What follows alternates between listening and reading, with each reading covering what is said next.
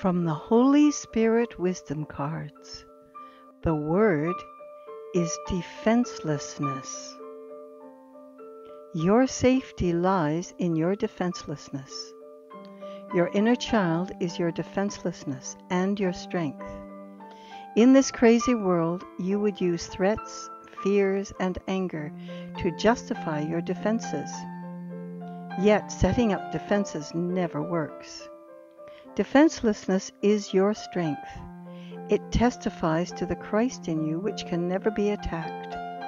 It recognizes a strength so great that attack is meaningless.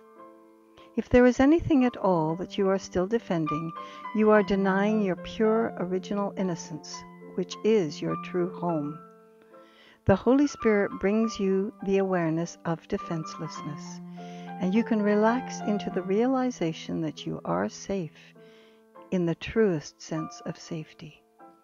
You are in the presence of God with no need to defend anything.